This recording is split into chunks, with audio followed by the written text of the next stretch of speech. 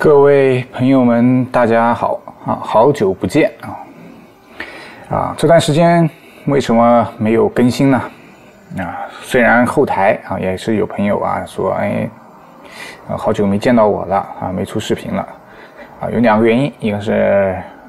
我们啊这个团队啊接了一几个电视剧的这个配乐，还有一些主题曲的制作。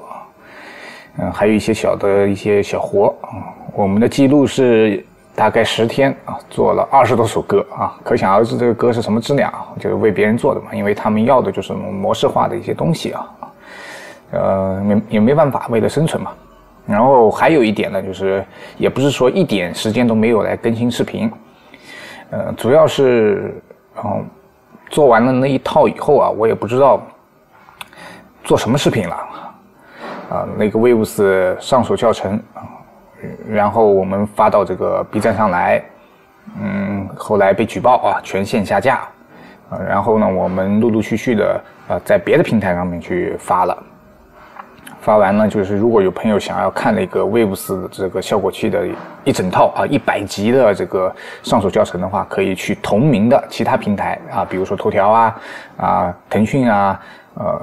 优酷我不知道他们上传没上传啊，我不太确定。然后抖音啊上面都有，但是都不全啊，就偶尔都会被呃举报一下，说是侵权，然后会下架几个，但是不像这个 B 站这边啊，大规模的全部下架啊，一集不留啊，这个有有点惨啊。然后呢，就是所以对我这个感觉这个辛苦付出啊，这个努力啊，就有点泄气嘛啊，我也没那么大的积极性了啊，主要是大概一个这个样子。啊，但是 B 站啊还是我的主战场啊，所有的视频的话还会首先选择在 B 站发布，毕竟 B 站的朋友比较多一些，啊，我不可能放着这么多的朋友不顾啊，去别的平台上面去做。然后呢，后来我就想了一想啊，我说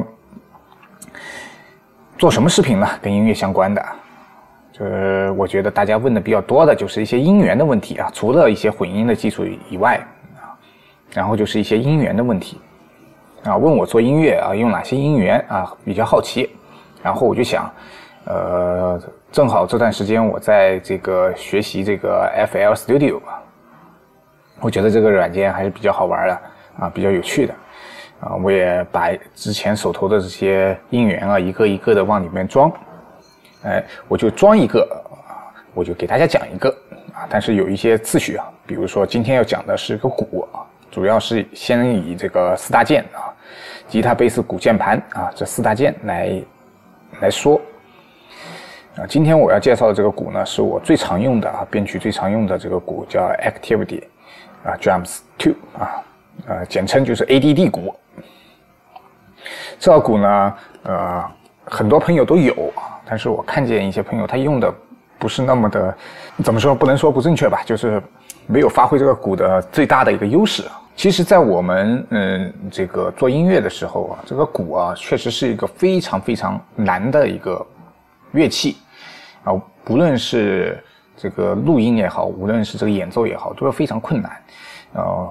有一些歌啊，甚至现在我们百分之八九十的歌的鼓，基本上都是用 MIDI 去做的。啊，总的说来呢，就是 MIDI 的鼓啊，它啊没有那么多的人性化啊。啊，就是可能大大部分人都同意这个观点，但是呃，你只要稍加调整、合理利用的话，也不会听得那么死板。啊，所以 ADD 鼓的话是我用的比较常用的。然后第二个比较用的用的多的就是 Super Drummer。今天我们就来讲 ADD 鼓啊，怎么去正确的使用 ADD 鼓，让一个呃不会打鼓的编曲人啊，能够编出比较漂亮的这个鼓。啊，首先你要有一个 ADD 鼓啊，ADD 鼓呢，它如果你是安装的这个一个版本以后啊，它不会像我这样有这么全啊。虽然我这个这个鼓的这个套套装啊也不是那么多，但是呢，呃，基本上流行音乐的风格啊都够用了，甚至有一些电子音乐的风格也都够用了。你打开这个音源以后呢，你先选一个这个鼓的这个预制啊，你先选。你先不用管，你去听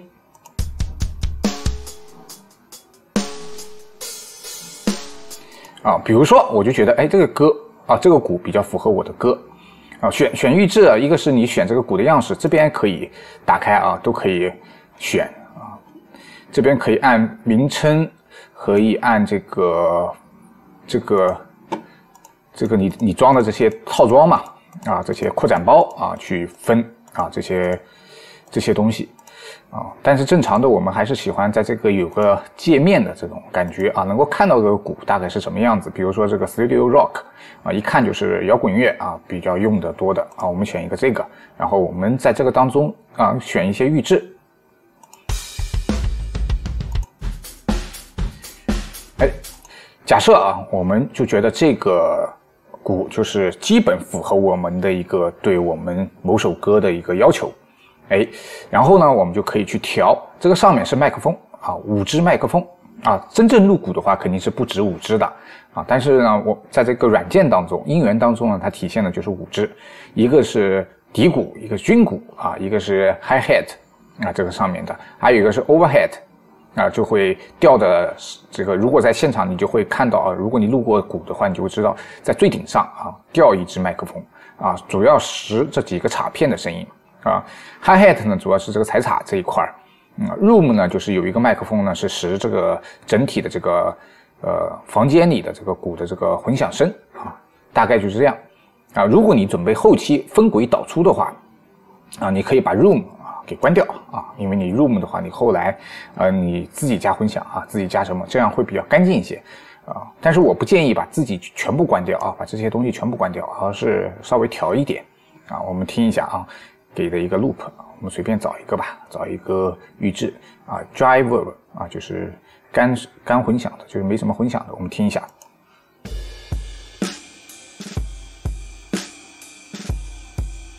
好，这个时候呢，你可以去调节这些麦克风的音量大小啊。当你调节好以后呢，这个 kick 里面啊，可以点到这个 kick 这个。这个栏当中，你可以分别的去替换一些鼓啊，比如说我觉得这个军鼓啊比较散一些，不够紧啊，我可以选一个其他的鼓看看够不够紧啊，不够，哎，我觉得这个鼓比较紧一些啊，比较紧一些啊，然后我们再回到刚才这个地方，哎，我们再，OK，这就是基本上啊，我们这个鼓啊就。音色方面啊，就调好了。当然，你也可以在 FX 里面啊，去做一些混响啊、延时啊这些细节方面的 EQ 方面的一些调节啊。如果你是要分轨出来，最后来导来导出啊，然后是在软件里面你自己去人工去调的话啊，你就把这些灯啊全部灭掉啊。我们不用它自己给我们的这些东西，我们什么都不用啊。把这些混响啊，把这些东西全关掉我们不管，我们就要干声。啊，我们听听干声是什么样子。这个 ADD 鼓啊，方便就方便在这样子的话，你调节就非常的呃简单，非常的方便啊。大部分的时候我们在做这个鼓的时候，我们还是像这些啊真录鼓的那种感觉一样，我们会把这些鼓的这些麦克风啊，就是分轨导出来。这是一个很多朋友啊不太清楚啊，怎么去 ADD 鼓怎么分轨去导到这个调音台当中啊？因为呃。嗯，其他的这个软件啊，就相对来说比较方便。这个 FL Studio 啊，我还在我还找了半天，因为对这个软件我不是那么那么的熟悉。呃，后来发现啊，应该是这样子的啊。首先你要点开这个，呃，我看看在哪里啊？哎，找不到了嘛？啊，在这个 Setting 上面有个 Process Processing，然后呢，你可以手动的，我们正常的就是 Auto Map Out Outputs。啊，这样子的话，它就会把这个鼓啊，这个这个这个各各个部件啊，发送到你的调音台当中。然后你的调音台是什么？比如说你的 master 这个轨啊，你这个调音台，我们比如说是现在我们假设啊，放到第十轨当中，第十轨当中，那么我们的 kick 呢就在第十一轨啊，我们的 snare 呢就是军鼓呢是在第十二轨啊，我们可以看一下调音台。我们先回到这边打一下啊。打一下，我们看一下调音台。哎，这个 send 哦，对，这个还有一个问题啊，就是你调完这个以后啊，还要在 FX 里面啊，把这些东西啊，你要发送到调音台啊，你要把这些通道全部发送到调音台。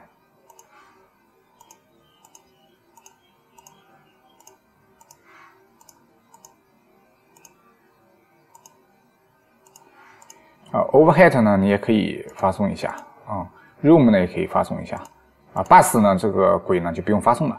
啊，它是其实它，比如说你看它上面点这个 sense 的这些啊轨道啊，它就等于就是说把这些 sense 呢全部发送到 bus 轨了。如果你再发 bus 轨啊，再发送到这个调音台啊，你这个声音就会啊变大了啊，等于有两两组这个鼓了啊。我们可以现在可以看一下啊，基本上应该能够发送过来了啊。这个实轨呢，就是 master 这个轨道的，我们把它灭掉。这样子，所有的轨道啊，我们就分开了。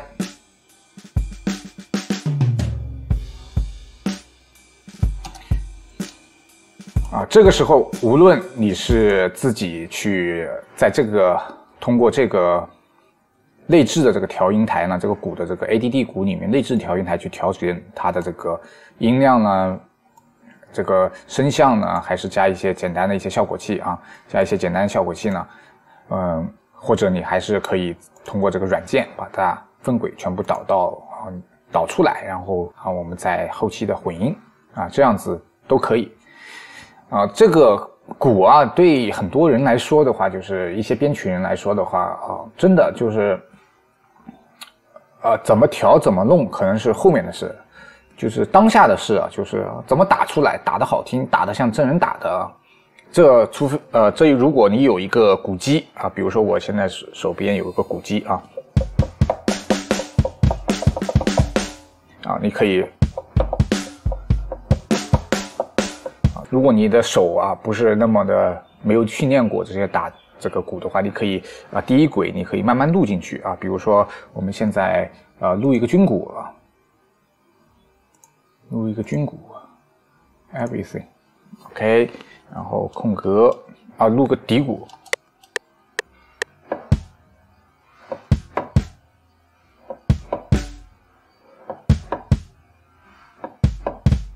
好，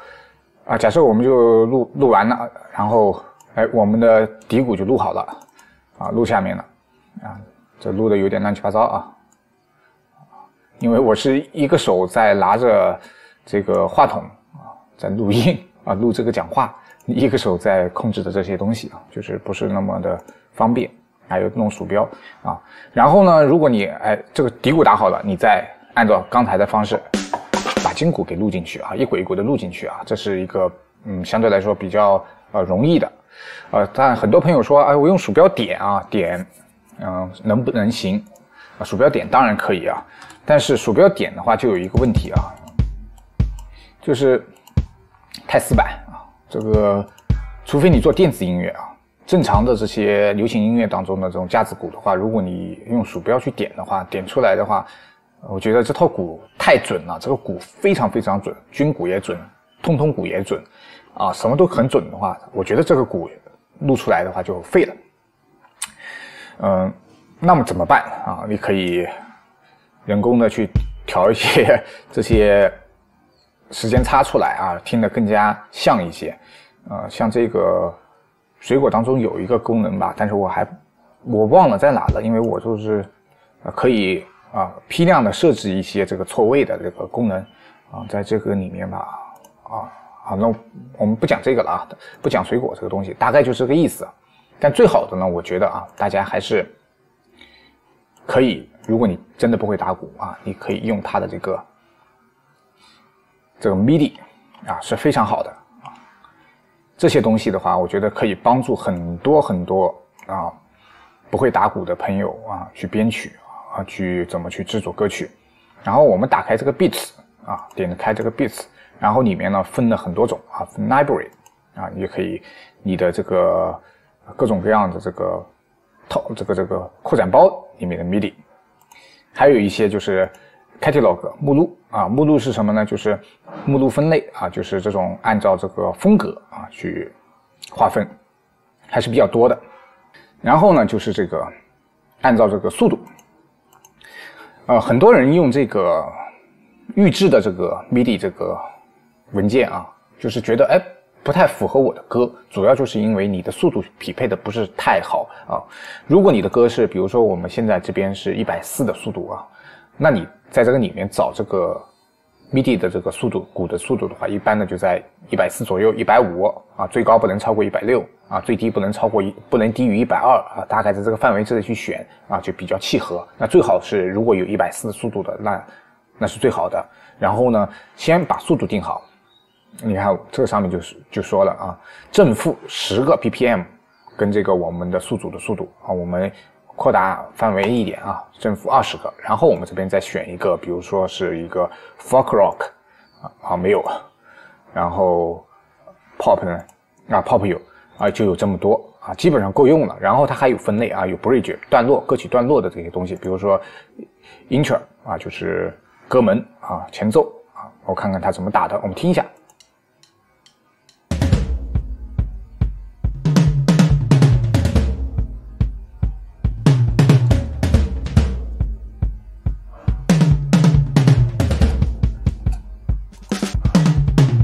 我们觉得还不错，那怎么去用到你的这个加载到这个宿主软件里面，让宿主软件能够来出能够调出来呢？啊，你要记住啊，不管是任何一个宿主啊，水果也好，还是其他的一些软件也好，都一样啊。点住你要的这个 MIDI 这个文件啊，你要的这个样式，在这边点，而不是在这边点啊。点住左键拖啊，拖到拖进去，然后哎，它就进来了。进来了以后呢，你可以根据你的歌。做一些微调啊，做一些微调。你看它这些东西都不是特别齐啊，我尽量的流行歌曲的话，不要做呃这个量化。量化的话，本来人家打的挺好的啊，给你一量化的话，就显得特别傻、特别笨的。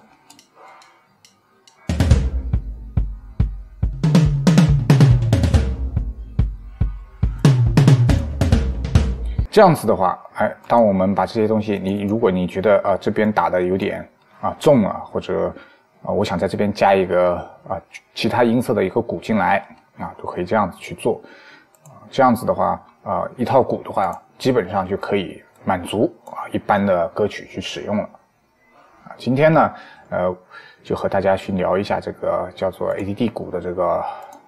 这个东西啊啊这个音源。啊，后期呢，我会把我经常用的一些鼓的音源啊，就是。和这个去分享一下嘛，给大家分享一下。然后网上呃我也看了，呃好像现在教这个音源使用的不是也不是特别多啊，也有别人在做这一个内容啊。我觉得我有我一个多做一个，可以给大家一个参考嘛啊。这个 ADD 鼓的使用还是比较方便的啊，虽然它的音色啊，在我来看不是最好的，但是够用了，绝对够用啊，绝对够用。啊，我在做这个视频的时候呢，最大的困扰啊，就是不知道啊去说什么。啊，如果你们想，比如说，哎，你想知道一个某个音源啊，它是怎么去使用的啊，呃，可以在下面给我留个言啊，就说，哎，我想知道某某某这个音源怎么使用，我用的不是很好啊。如果我懂啊，如果我也有啊，如果我经常使用啊，我就出一个这个视频出来啊。如果我没有啊，那就没办法去做这种视频嘛。和大家去分享，好吧？呃，那么我们今天就聊到这里啊，希望大家哎，我回来以后啊，希望大家能够一如既往的去支持我们这个频道啊。我的微信呢还是没没有变啊，有任何问题想咨询我的，可以去呃加一个微信，我们就当做一个朋友之间的一些聊天，好吧？我们就说到这边啊，下次再见。